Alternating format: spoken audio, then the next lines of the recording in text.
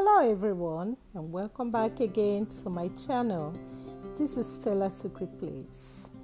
Guys, in this video, I'm going to show you all how I got this yummy looking plantain porridge. This is what we call plantain porridge. This is made with unripe plantain. Yes, unripe plantain. That is what you guys are seeing. I'm going to go ahead and tell you guys how I got to this point. You can see me adding some grains, and you all know that plantain is loaded with iron. And here am I adding additional nutrient, vegetable, spinach you know what we get from spinach? It is when it is well prepared. Spinach is loaded with minerals. So as long as you don't overcook it you will definitely get the nutrient from it. You are getting nutrient iron from the unripe plantain and at the same time you are as well getting minerals from the vegetable.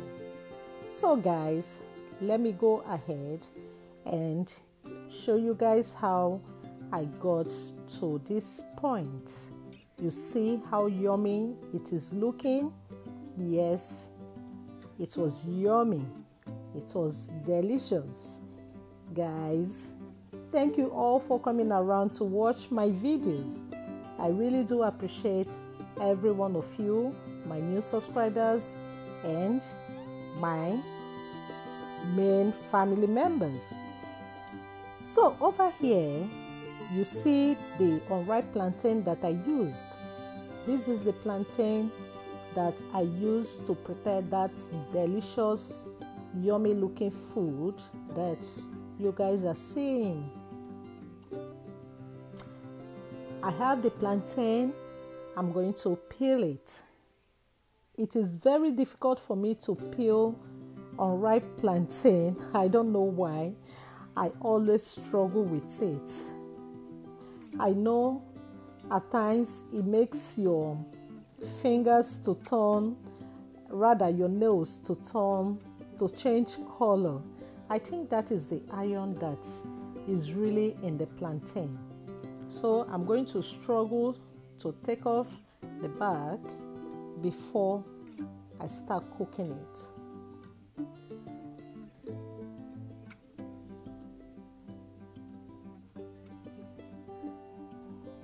This is very difficult for me to peel.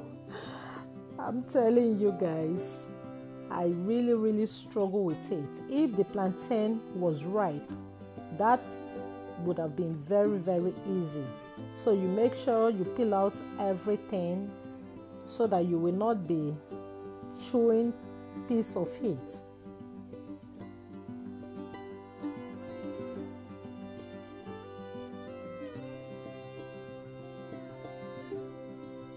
That is the second one that I'm peeling. I am still struggling with it. This time around, I'm making different lines on it so that it can easily get off. But did it work? No, it didn't work. I'm still struggling with it. I don't know why it hurts my nails. Each time I finish peeling uh, unripe plantain, my nails are always hurting. I don't know if it happens to you guys.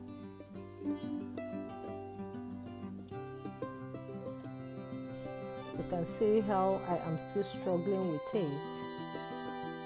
I'm still struggling with the peeling of the plantain.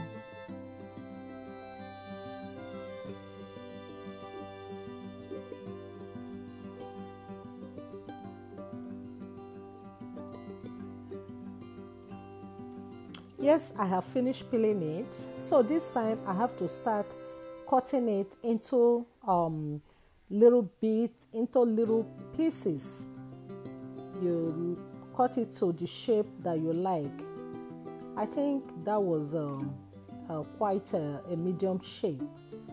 You can make it smaller or you can make it bigger. At times, when I'm uh, cooking plantain, like a plantain with a stew, I usually cut it bigger. But this, I am using this shape because I want to make it in a porridge form. And um, when you finish cutting your plantain, it is good for you to soak it in water so that it will not change the color of the plantain. You can see that it's in the water as I quickly prepare the sauce that I'm going to use to prepare it. So the sauce is ready. Over there, I have my red bell pepper, my um, scotch bonnet, and onion already blended, and that is what you see in the pot with a little bit of chicken broth. I have some chicken broth that I added to it. So that makes the liquid that you are seeing. I have to bring the the stock or the sauce to a boiling point so that I can easily add the plantain into it as they will all cook together. That stock is seasoned already, but at, I have to um, add a crayfish. I like uh, the aroma that comes out from the crayfish in a plantain. So I have to mix it very well while I start distributing the peeled um, unripe plantain into the pot. Here I added about a spoon and a half of um, palm oil into the pot. Palm oil, like as you guys know, has a lot of vitamin D. So I decided to add it to the plantain and more so we always cook with palm oil. We that came from Africa, Nigeria, we are used to cooking with palm oil because palm oil is good for us. It has vitamin D, and you know what vitamin D does? Vitamin D is good for our bones and for our eyes as well. So that is why I always use palm oil just to get the nutrients in it. So I am now adding my plantain into the the stock, into the um, the sauce that is already prepared. I have to distribute everything into the pot so that they will all cook together.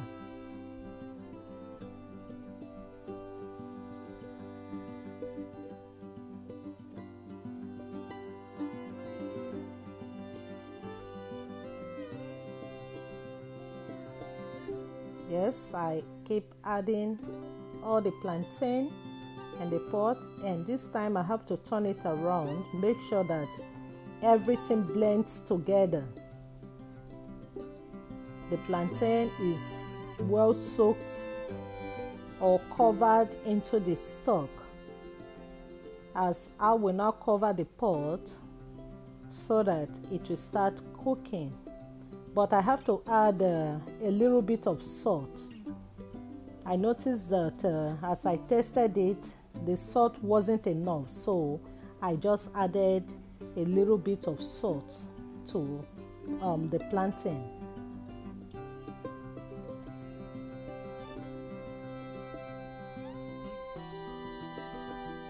and that is uh, chicken bouillon. That is a spoon of chicken bouillon. I have to give it a quick turn. Turn it around very well so that everything will combine together.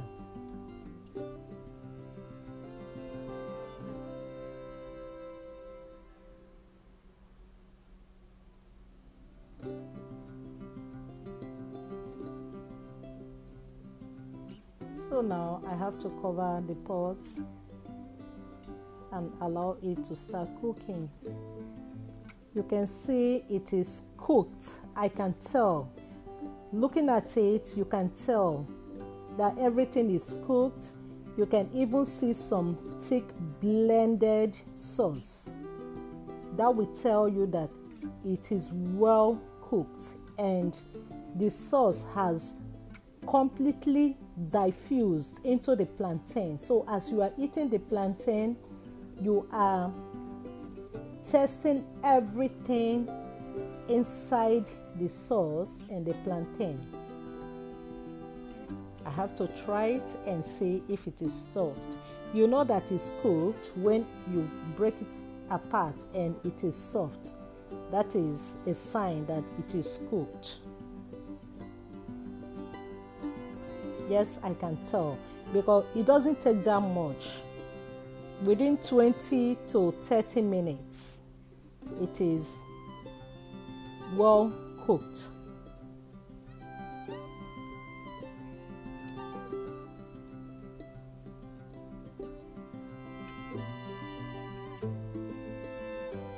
So I have to cover it and allow the the food to simmer have to allow it to simmer. At that point, the level of the heat has been reduced and the the food has to simmer down. Yes, you can see it. The heat is reduced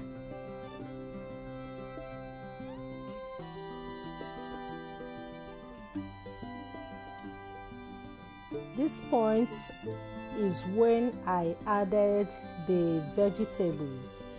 The veg that I used is spinach. Um, one of these uh, frozen spinach. That is what I use. You see how green it is. That shows you that the nutrient is still intact. So as soon as I add it, I have to mix it around and quickly bring out the pot from the heat. I have to bring out the pot from the heat so that my vegetable will not be overcooked because my intention of adding this is to get the nutrient that um, spinach has. So that is why I have to bring it down as soon as it is turned and the grain everything is still in it. I don't like to eat overcooked vegetable because my intention is to get the nutrient in it. So I have to turn it around, make sure everything is combined. There you go. The plantain porridge is ready you can see how green the vegetables are. You can see how delicious it is looking. Yummy, looking delicious. You are sure of your iron, you are sure of your minerals. So, thank you guys for coming along with me, and you have a blessed day.